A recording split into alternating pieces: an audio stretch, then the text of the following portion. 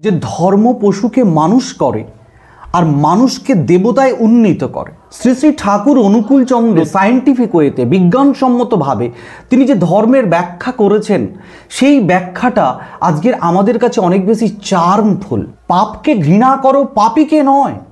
মানুষ যদি ইনিটিয়েটেড হয়, ইষ্টকেন্দ্রিক পথে যদি সে চলতে পারে, তবে সেও কিন্তু বাল্মীকি মুনির মতো হতে পারে।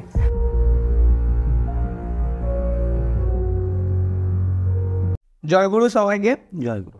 আজকের আমাদের সাথে আছেন শ্রদ্ধেয় শ্রী পিনাকি দাদা যিনি ইংরেজি বিষয়ের উপর একদম বিশিষ্ট একজন শিক্ষক। এর আগে আপনারা সকলেই দেখেছেন যে আমাদের চ্যানেলে বিশেষ কয়েকটি ভিডিও দাদা ঠাকুর সম্পর্কে আলোচনা করেছেন। আমাদের জীবনের বিভিন্ন প্রয়োজনীয়তা নিয়ে দাদা আলোচনা করেছেন আপনি। সেগুলো আমাদের দর্শকদের কাছে প্রচুর পরিমাণে ভাইরাল হয়েছে এবং অনেকে অনেক মন্তব্য করেছেন অনেক শুভকামনা জানিয়েছেন। আজকের আবারও দর্শকদের আগ্রহের জন্য এবং তাদের অনুরোধে আমরা দাদাকে নিয়ে আসতে পেরেছি। হ্যাঁ তো আজকের আমরা কিন্তু এই বিষয়ে আলোচনা করব। দাদার কাছে সরাসরি সময় নষ্ট না করে প্রশ্নের দিকে যাব। আমাদের জীবনে আমি মনে করুন একটা এই কম বয়সী ছেলে, আমাদের জীবনে ধর্মের কি প্রয়োজনীয়তা আছে? সবাইকে জয়গুরু জানিয়ে আলোচনা শুরু করছি। অত্যন্ত সুন্দর একটা প্রশ্ন যে আমাদের জীবনে ধর্মের প্রয়োজনীয়তাটা কি? দেখো, রোহিত, বিষয়টা হচ্ছে ভগবান শ্রীকৃষ্ণ গীতাতে বলছেন যে জগতের যত মানুষ আছে, আমরা সবাই কিন্তু মুনি ঋষির সন্তান। তিনি তার মনের বৈষ্ণব শক্তি নিয়ে ভৃগুসহ সাতজন মুনি, বশিষ্ঠ সহ চারজন মুনি এবং চোদ্দ জন মনুর জন্ম দেয়। এবং তারপর ভগবান শ্রীকৃষ্ণ বলছেন যে এই জগতে যত মানুষ আছে, সবাই কিন্তু এই মুনি ঋষির সন্তান। তাহলে এই প্রশ্নটা আমাদেরকে ভাবতে হবে যে আমরা যদি মুনি ঋষির সন্তান হয়ে থাকি, তবে আমাদের মধ্যে সেই দেবত্ব থাকবে, ঋষিত্ব থাকবে। কিন্তু সেই মনু মানে ঋষিত্ব বা দেবত্বটা কি সত্যি সত্যি আছে? এটা একটা খুব বড় প্রশ্ন কিন্তু। বিষয়টা হচ্ছে স্বামী বিবেকানন্দ তিনি বলছেন যে ধর্ম পশুকে মানুষ করে আর মানুষকে দেবতায় উন্নীত করে। অর্থাৎ আমাদের যে হিউম্যানিটি এই হিউম্যানিটির যে ইমপ্রুভমেন্ট বিকাশ এই হিউম্যানিটির ইমপ্রুভমেন্ট যখন ঘটবে, তখন একটু একটু একটু একটু করে আমাদের মধ্যে দেবত্ব সঞ্চারিত হবে। কিন্তু আজকের আমরা যদি বর্তমান সোসাইটির দিকে তাকিয়ে দেখি, যে আজকের মানুষের যে হিউম্যানিটি মানবিকতা, মনুষ্যত্ববোধ, সেটা কিন্তু একটু একটু করে কিন্তু আস্তে আস্তে করে কিন্তু নষ্টের দিকে যাচ্ছে। এবং বর্তমান সমাজ ব্যবস্থায় যে পরিবেশ পরিস্থিতি তৈরি হয়েছে তাতে করে আমরা দেখতে পাচ্ছি যে মানুষ তার মধ্যে যে ঋষিত্ব বা দেবত্ব, সেটা একেবারে যেন লীন হয়ে গেছে। এবং কোথাও এটা অপ্রিয় হলেও সত্য, তাদের মধ্যে যেন কোথাও একটা পাশবিক প্রবৃত্তি তাদেরকে গ্রাস করেছে। এখানেই কিন্তু আমাদের ধর্মের প্রয়োজনীয়তা। অর্থাৎ ধর্ম মানুষকে পশু থেকে মানে মানুষ করবে এবং মানুষ থেকে দেবতায় উন্নীত করবে। এটাই হচ্ছে ধর্মের উদ্দেশ্য। তাহলে সেই উদ্দেশ্য সাধন করতে গেলে আমাদেরকে কিন্তু ধর্ম করা প্রয়োজন আছে। তাহলে স্বামীজির এই কথাটাকে যদি আমরা বিশ্লেষণ করি, তাহলে আমরা দেখব যে আমাদের মধ্যে কোথাও সেই যে দেবত্ব, সেই মানে ঋষিত্ব, এটা কিন্তু নেই। তাহলে কেন নেই? তার কারণ হচ্ছে, ভগবান যখন আমাদেরকে সৃষ্টি করলেন, তখন সেই সৃষ্টি করার সাথে সাথে আমাদের মধ্যে দুটো জিনিস তিনি দিয়েছেন। একটা হচ্ছে আমাদের মধ্যে আত্মা রয়েছেন। ভগবান শ্রীকৃষ্ণ তিনি বলছেন যে, ভগবান প্রত্যেকটা মানুষের মধ্যে আত্মারূপে বিরাজমান। অর্থাৎ তিনি আমাদের মধ্যেই বিরাজমান। পাশাপাশি আবার তিনি কি দিয়েছেন? তিনি আমাদের মধ্যে রিপু দিয়েছেন। এই রিপু খুব গুরুত্বপূর্ণ একটি শব্দ। রিপু শব্দের অর্থ হচ্ছে কিন্তু শত্রু। এবং এই রিপু আমাদের মধ্যে আছে। যে রিপু, ছয়টা রিপু, কাম, ক্রোধ, লোভ, মোহ, মদ, মাৎসর্য। এই ছয়টা রিপু অত্যন্ত শক্তিশালী জিনিস। এবং শ্রী শ্রী ঠাকুর অনুকূল চন্দ্র তার বর্তমান সময়ে তার গ্রন্থাদি, তার দীক্ষা নেওয়ার পর যখন আমি তার গ্রন্থগুলোকে অধ্যয়ন করতে শুরু করলাম, দেখলাম যে তিনি এত সুন্দরভাবে সায়েন্টিফিক ওয়েতে বিজ্ঞানসম্মতভাবে তিনি যে ধর্মের ব্যাখ্যা করেছেন, সেই ব্যাখ্যাটা আজকের আমাদের কাছে অনেক বেশি চার্মফুল তিনি বলছেন যে মানুষের জীবনে দুটো পথ একটা হচ্ছে ইষ্টের পথ বা আদর্শের পথ আর একটা হচ্ছে প্রবৃত্তির পথ। মানুষের জীবনে এই বইয়ের পথ ছাড়া অন্য কোনো পথ নেই। অর্থাৎ তৃতীয় যে কোনো পথ থাকবে, সেই তৃতীয় কিন্তু কোনো পথ নেই। তাহলে মানুষকে হয় দেবত্বের পথে চলতে হবে, নাই কিন্তু তাকে প্রবৃত্তির পথে চলতে হবে। আর অধিকাংশ মানুষ আজকের এই প্রবৃত্তির পথে চলছে বলেই, প্রবৃত্তি কিন্তু তার জীবনে কিন্তু একটা মুখ্য ভূমিকা পালন করছে প্রবৃত্তি তার জীবনকে পরিচালিত করছে। যখন প্রবৃত্তি তার জীবনকে পরিচালিত করছে, তখন সে কী করছে? তার বুদ্ধির মানে কি বলব, তার বুদ্ধি বিকারগ্রস্ত হচ্ছে, তার যে মানবিকতা, মনুষ্যত্ববোধ, সেটা আস্তে আস্তে যেন কোথাও যেন ভুলিন্টিত হয়ে যাওয়ার মতো একটা পরিস্থিতি তৈরি হয়েছে। তখন কি হচ্ছে?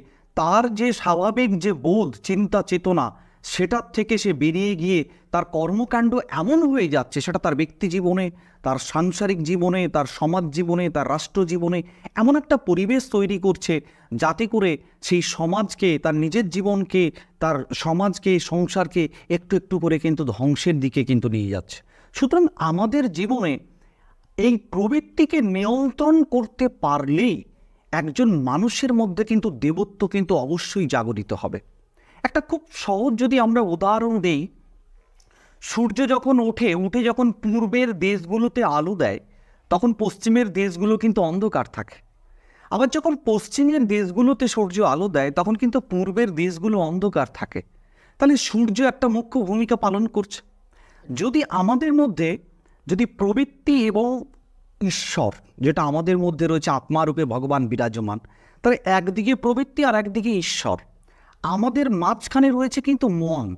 এই মনটাকে যখন আমি প্রবৃত্তিতে যখন নিয়োজিত করছি, তখন প্রবৃত্তিগুলো কিন্তু জাগরিত হচ্ছে, প্রবৃত্তিগুলো কিন্তু তেড়ে ফুড়ে উঠছে।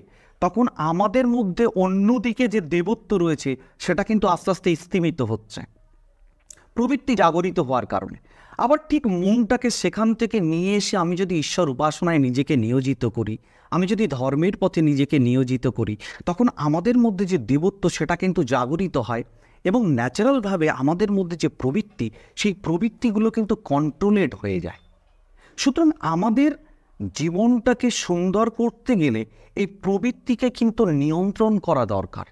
এই প্রবৃত্তিকে যখন আমরা নিয়ন্ত্রণ করব, তখন আমাদের মধ্যে কিন্তু জেগে উঠবে দেবত্ব।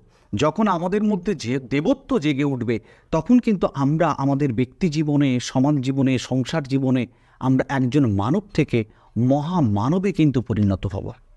দ্বিতীয় প্রশ্ন হয়তো তুমি করবে বা তুমি করছ কি না আমি জানি না, কিন্তু আমি নিজের থেকেই বলছি যে তাহলে এটা আমরা সবাই জানি যে প্রবৃত্তি একটা খুব অত্যন্ত শক্তিশালী জিনিস, কিন্তু প্রবৃত্তিকে নিয়ন্ত্রণ করার উপায় কী? দেখুন, ঠাকুরের একটা বাণী আছে, আমি যখন ঠাকুরের এই বাণীটা পড়েছিলাম আমি খুব মানে কি বলব ভীষণভাবে মুগ্ধ হয়েছিলাম। ঠাকুর বলছেন প্রবৃত্তিরূপ ছয়টি ঘোড়া ছুটছে খেয়ালে দীক্ষা রজ্জু দিয়ে না বাঁধলে সামলানো দায় হবে। তার মানে ষড়রিপুটাকেই আমাদেরকে কিন্তু বাধা বাধার কথা বলছে। এবং সেটা বাধার নিয়ম কি? এখানেই কিন্তু ধর্মের প্রয়োজনীয়তা। যদি আজকের আমরা দীক্ষার মধ্যে দিয়ে ষড়রিপুকে যদি কন্ট্রোল করতে পারি, নিয়ন্ত্রণ করতে পারি, অর্থাৎ দীক্ষার মধ্যে দিয়ে ষড়রিপুর মুখে যদি লাগাম দিতে পারি, তাহলে কিন্তু রিপুগুলোকে কিন্তু নিয়ন্ত্রণ করা যায়।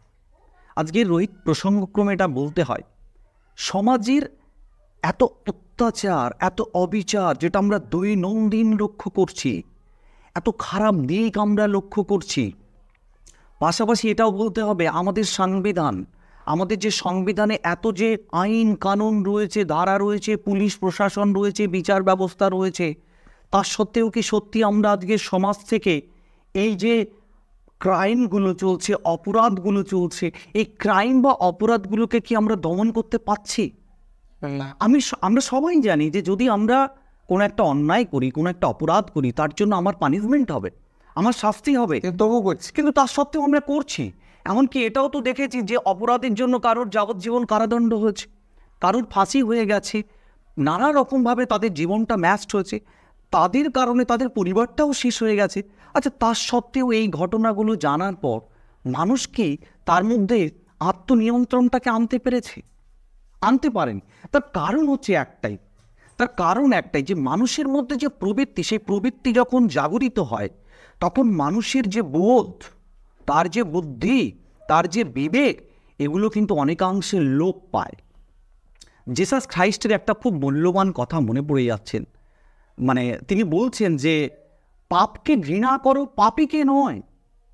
তার কারণ হচ্ছে, একজন মানুষ যখন ঈশ্বর, আদর্শ বা ইষ্টের পথে না চলবে ন্যাচারালি তাকে ঠাকুরের কথা অনুযায়ী এবং বাস্তবিক, যা আমরা উপলব্ধি করছি, তাকে কিন্তু প্রবৃত্তির পথকে অবলম্বন করতে হবে।